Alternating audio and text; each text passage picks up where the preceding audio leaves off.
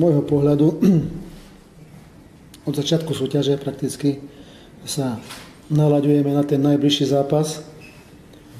Zatiaľ, čo sa týka naladenia, myslím si, že chlapci nehrajú v strese, ale snažia sa podávať e, výkony na, na svojej úrovni.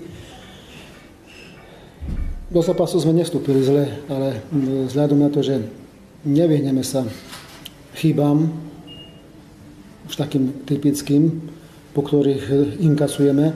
Ťažko sa nám potom e, obracia zápas, vzhľadom na to, že tá prechodová fáza smerom e, do útoku, tá výstavba útoku je pomerne pomalá, nepresná. Tým pádom nedokážeme tak prekvapiť superovú obranu.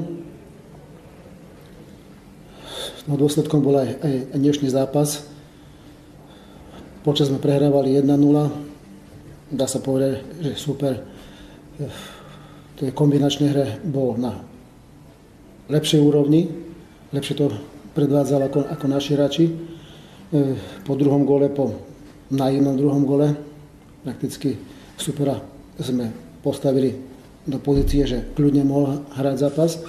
Vtedy sme, dá sa povedať, že e, získali určitú prevahu. Chlapci sa dobre e, e, naladili, dobre sa rozbehli. Boli sme možno v tomto úseku hry oveľa nebezpečnejší ako aj v minulých zápasoch. Čiže toto je pozitívum oproti predchádzajúcim zápasom. Dali sme aj gól,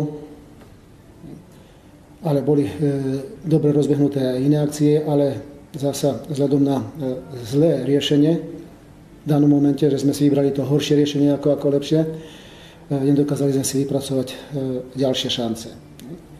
Vzhľadom na priebeh hry si myslím, že zaslúžené víťazstvo domácich o ten jeden gól. Prikláňam sa názoru trénera hostí, že naše víťazstvo bolo plne zaslúžené. 70 minút musím mústvo pochváliť za veľmi dobrý výkon, za predvedenú hru, ktorú sme v dnešnom zápase ukázali. Dá sa povedať, že Nadviazali sme na výkon z Lipiana. Mústvo, mústvo hralo dobre kombinačne, dobre sa pohybovalo. Spokojnosť akurát. Škoda inka sa na gól, kde sme spravili naše 16 chybu a super to potrestal a ináč musím našich chalcov pochváliť za fakt dobrý výkon a, a kvalitnú hru, ktorú v dnešnom ukázali.